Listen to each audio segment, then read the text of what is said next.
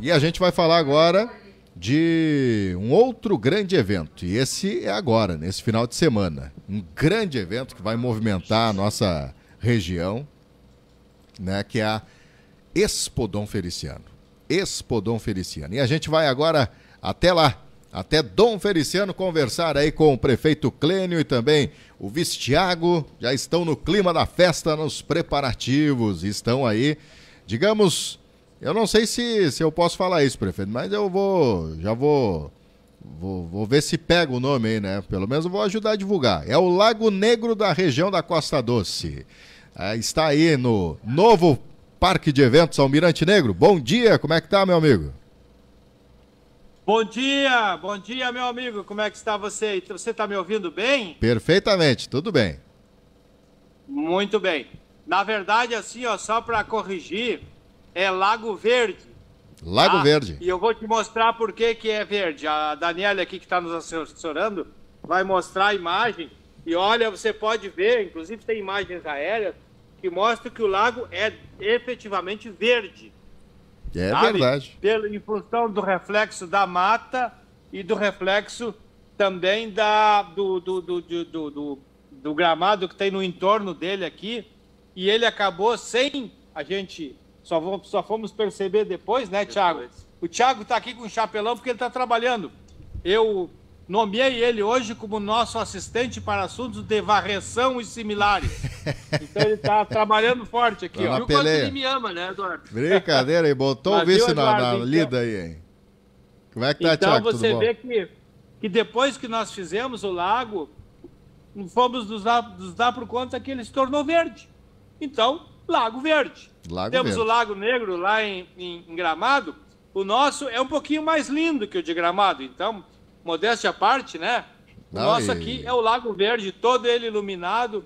Ontem nós ligamos todas as luzes, a Equatorial já fez a ligação do parque e ele está iluminado, inclusive até, se o pessoal quiser dar uma olhada no meu perfil no, no Facebook, tem um, um vídeo é, do, do parque à noite que está muito lindo, muito lindo mesmo. Sabe? Não, pois é, eu vi então, hoje, hoje cedo nossa... eu vi no Instagram da prefeitura aí, eu vi a imagem de dia, né? Muito bonito ficou o parque.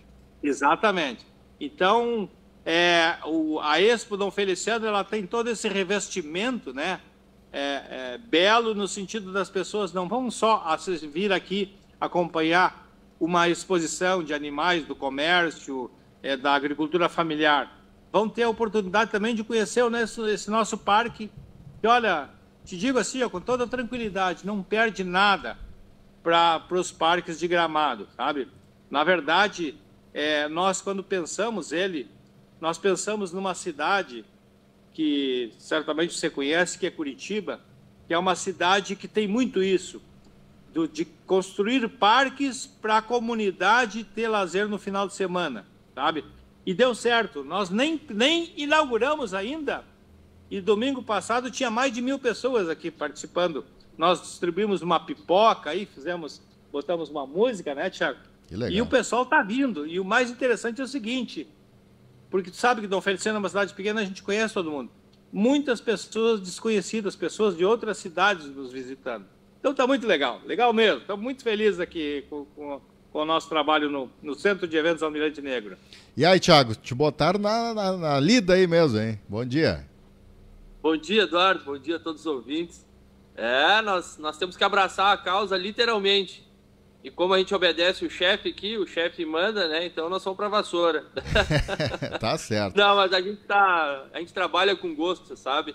E ainda ontem nós relembrando com o Clênio, desde o início de tudo, quando isso aqui era só um campo, que a gente veio um dia de manhã lá em cima e começamos a olhar para pensar, para estudar e ver isso tudo concretizado, sabe? É uma realização para a gente, enquanto é, gestores, nesse momento, poder entregar essa, essa obra para a comunidade é gratificante. Não, muito Eu lindo. te diria, assim, ó, por todo respeito aos colegas é, prefeitos das demais cidades, né?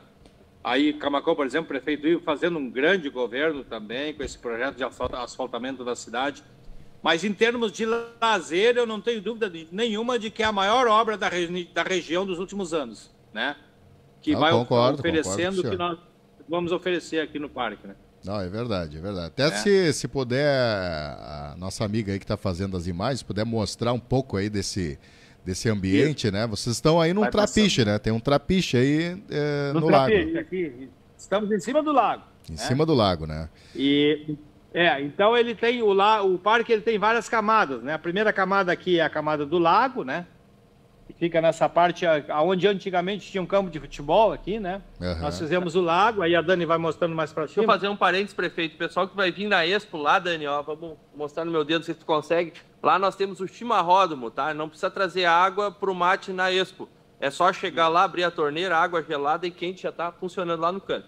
Lá atrás, atrás daqueles pinheiros ali que você vê, lá tem uma torre que é da, da das câmeras, que está todo ele, o, o lago está todo ele, todo o parque é, é coberto por câmeras, né, para evitar as bandidagens, sabe que isso existe, infelizmente, né? Sim, sim. Lá atrás, então, tem um acesso com um trapiche por dentro da mata que vai sair lá no, no, na, na rua, no outro lado, lá no acesso ao parque. Então, as pessoas que vão fazer caminhada, eles vão passar por dentro da mata para acessar aqui a pista de caminhada no entorno do lago.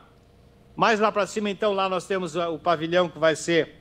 Antes disso, ali temos um pergolado que vai ser para shows em finais de semana, que no evento vai ser utilizado como estande da prefeitura. Nós vamos fazer a solenidade de entrega do parque, domingo a uma hora vai ser toda ela feita ali. E atrás você pode ver o pavilhão onde vai ser da agricultura familiar, onde teremos a venda de alimentos da agricultura familiar. Indo mais para a esquerda, Dani, mais para lá, então, nós vamos chegar na outra, no outro patamar do parque, que é do pavilhão principal, que nós temos o prédio ali principal e outro prédio do lado, e, um, e uma área onde vão ser feitos, realizados os shows, né? Tem, vai ter o palanque lá, o palco do, das bandas, começamos já na sexta, depois podemos falar sobre toda a programação, e aí, indo mais para a esquerda, nós temos ali esses, no, no, no primeiro, aqui no mais para cá, nós temos aonde vai ficar vocês, ficarão a, a, imprensa, naquela, naqueles todos ali, e lá no fundo é, são dois pavilhões do comércio e ainda mais um pavilhão de 20 por 40 montado, que vai ser todo ele ocupado pelo comércio. Então nós temos 162 expositores é, credenciados.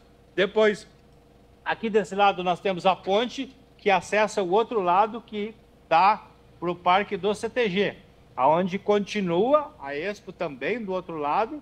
Nós teremos a exposição de animais, bancos, máquinas pesadas é, é, e, e, também a parte do comércio, esse mais amplo, sabe? Tipo agropecuária, fotovoltaica, que estarão na pista do CTG. Então nós temos em torno aqui de 6 hectares mais ou menos de parque, todo ele envolvido na Expo Dom Feliciano. Que maravilha, hein? E atrações de peso, né? Atrações de peso. Nós começamos na. na... Tiago, tu que é o bom da, da programação aí, deixa contigo. Tiago fala sobre, sobre as bandas. Vamos lá. Bom, começa sexta-feira de manhã, Eduardo, com um painel técnico, só para nós fechar a programação, painel técnico no CTG, falando de solo, falando de pecuária, de agricultura acontecerão ali junto ao Pavilhão dos Animais. De tarde a gente começa às 8 com a banda Brilha Som. Vamos para o sábado. É, às 5 horas, banda Anjos Indomáveis, depois Flor da Serra, e aí nós vamos até meia-noite. E no domingo começa de manhã com Pedro Rosa tocando uma música nativista, e aí tem a inauguração oficial do parque, depois o prefeito pode falar mais. A apresentação do, do, do, das... do da, da, da, da dos gaiteiros também, Isso, né? Isso, a fábrica de gaiteiros. Na verdade, o palco, Eduardo, que vai ter uma bela condução do senhor Eduardo Costa, que vai estar conduzindo os trabalhos aqui no Feliciano. Fiquei muito feliz aí a, pela a, a, oportunidade. Agradeço muito a oportunidade. A, gente vai ter uma, uma, uma, atividade que ela, o palco vai estar sempre com apresentação. No sábado tem a apresentação das nossas escolas, da rede municipal, mas no domingo, então, a partir das duas horas, começa com o show do Grupo Rodeio, e depois nós temos, não é um show, porque até nós, é um erro nosso, falha nossa, não é show, porque show é de duas horas. É, na verdade, um baile do Rainha Musical, porque são quatro horas da banda Rainha Musical tocando, então encerrando assim a programação da Expo Dom Feliciano. E reiterando, reforçando, é entrada franca, é gratuito, não tem, ninguém paga entrada tanto para o parque quanto para os shows, tá, Eduardo? Teus ouvintes, então é importante frisar isso que é uma pergunta muito corriqueira para nós. Quanto que custa? Quanto que vai custar para entrar? Não, não, ninguém paga nada. Pra nem quem... para entrar no parque e nem para assistir os shows e, e para dançar também. Que vai ter pista de dança aí para o pessoal rebolhar os quartos aí no, na nossa expo. Coisa boa, isso aí, isso aí. Que bacana, olha. Realmente é um investimento muito alto, né, que foi feito pela administração. Só na infraestrutura é mais de 4 milhões, né, prefeito? Mais de 4 milhões de reais, exatamente. Mais de 4 milhões de reais. E é um. E a estrutura. A estrutura, desculpa, Eduardo, a estrutura que está sendo montada é, para a Expo também ela é muito grande. Os, a, a, os comércios terão. O ano passado nós fizemos um espaço que ele era dividido com lona, esse ano é, é tudo com MDF, padrão de feiras que você vê Rio Grande Brasil afora. É um espaço bem clean para o pessoal que vai expor e para os visitantes também. Pois Se é. considerar os pavilhões fixos que nós temos, Eduardo, e mais a, a, a, os, os, pavilhões que estão sendo montados, as lonas, nós teremos mais de 5 mil metros de área coberta e, e 80% ou mais das ruas do parque calçadas. Quer dizer, não vamos ter problema de barro, de, de né, se eventualmente, a previsão, graças a Deus, é que vai ser tempo bom, mas se eventualmente chovesse, não teríamos problema de barro e não teríamos problema também em abrigar o público, que vai ter muita lona e muito pavilhão aí para o pessoal se abrigar. Internet de boa qualidade também, que nós já estamos usando ela para fazer a, a vídeo contigo, então tá tudo... Todo, toda a estrutura da internet da prefeitura vai ser transferida com, com fibra ótica aqui para o parque, né? Nós estamos montando, estamos montando, não, já está montado toda uma estrutura que todas as pessoas aqui dentro poderão estar utilizando a internet, a imprensa vai estar utilizando, as câmeras vão estar trabalhando, nós vamos ter transmissão em tempo integral, ao vivo aqui, a Petroman vai fazer a filmagem do, de todo o evento e utilizar as câmeras do parque também e transmitir ao vivo nas redes sociais e também nos telões, vai ter dois telões de 3 por 2 um no, no CTG e outro aqui no parque.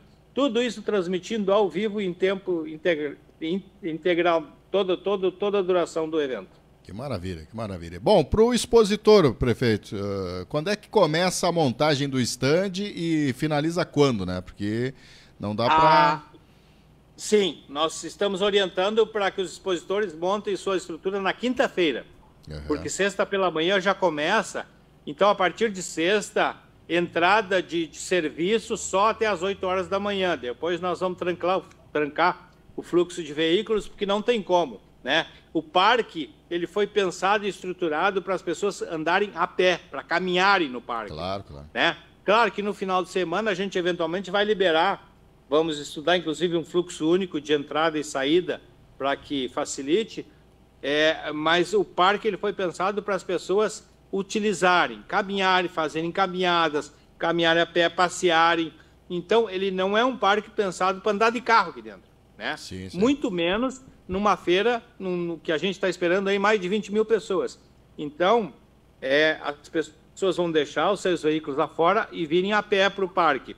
E a entrada de serviço, então, até as 8 da manhã, depois encerra, né? E não pode entrar nem, nem sequer para serviço para não dar aquele se não dá uma muvuca aí dentro e não tem como, né? Claro, claro. A gente tem que privilegiar as pessoas que estarão visitando e caminhando no parque. E outra, Eduardo. E pode, tu... no caso, quarta-feira, hoje não tem como o expositor montar, é só a quinta. Não, porque hoje está sendo montado a estrutura, né? Os boxes estão sendo montados pela empresa.